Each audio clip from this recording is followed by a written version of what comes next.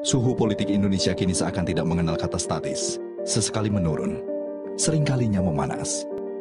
Apa sesungguhnya yang terjadi di balik gonjang-ganjing politik baru-baru ini?